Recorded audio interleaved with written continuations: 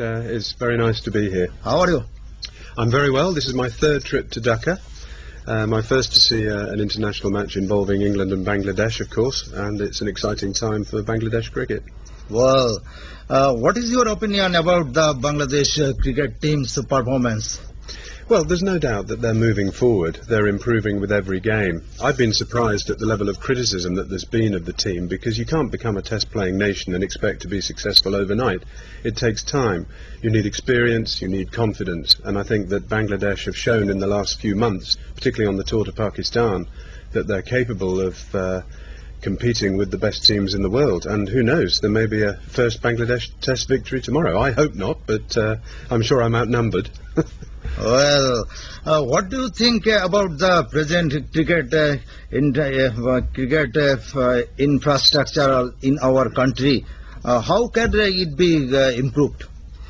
Well, I'm a great believer in having an executive management structure. Um, Bangladesh Cricket Board has been very well served by many volunteers who've given their time in a non-executive capacity to help with the running of cricket. But cricket is a business now, and I think if cricket is to really move forward, you need a, a full-time chief executive, which they've now appointed, uh, and a management structure, which means that the non-executives, the board, can then take policy decisions, and that will be implemented.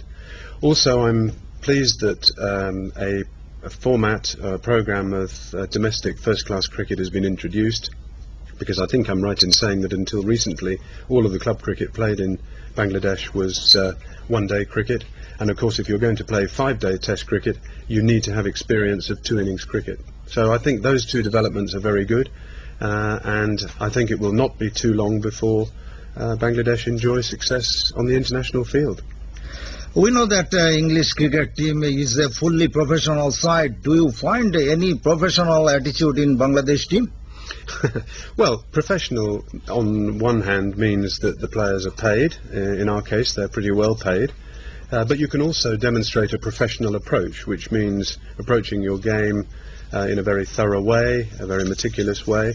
I've been very impressed by the um, the teamwork um, and uh, the amount of uh, the way the players work for each other.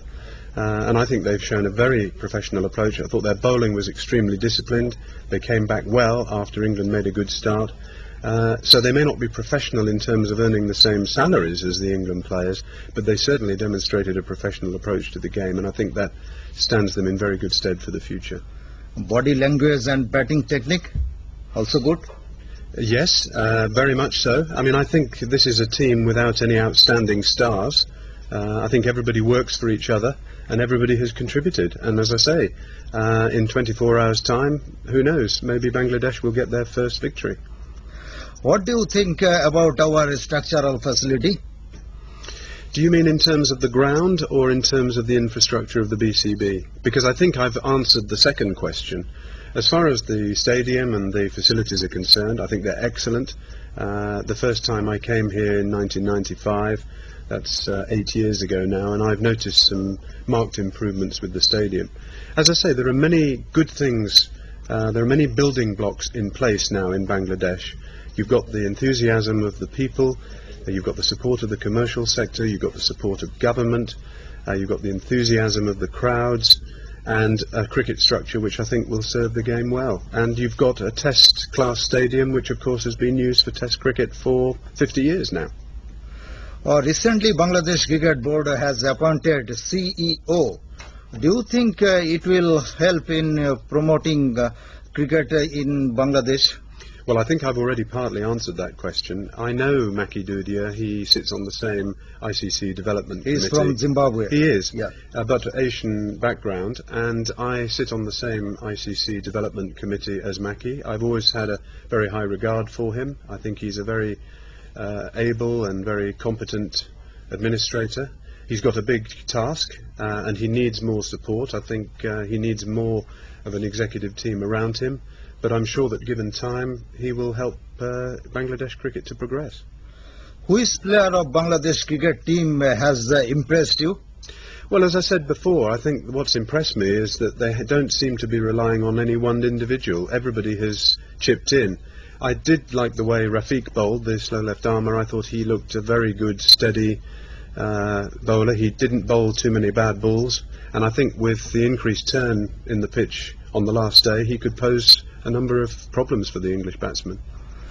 Uh, Mr. Tim Lamb, uh, thank you very much. Pleasure.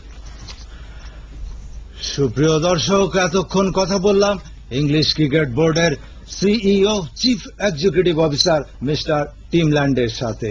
তিনি আশাবাদ ব্যক্ত করলেন, বাংলাদেশের ক্রিকেটের ভবিষ্যৎ খুবই ভালো এবং বাংলাদেশের ব্যাটিং, বোলিং এবং ফিল্ডিং অল্প দিনের মধ্যেই একটা উঁচু মানের পর্যায়ে চলে যাবে।